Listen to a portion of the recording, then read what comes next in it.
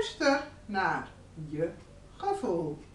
Een gedicht van Pina van pinajams.nl Luister naar je gevoel. Mijn gevoel zegt nee. En toch laat ik het weer toe. Ik word mijn tekortkoming aan assertiviteitsvermogen zo moe.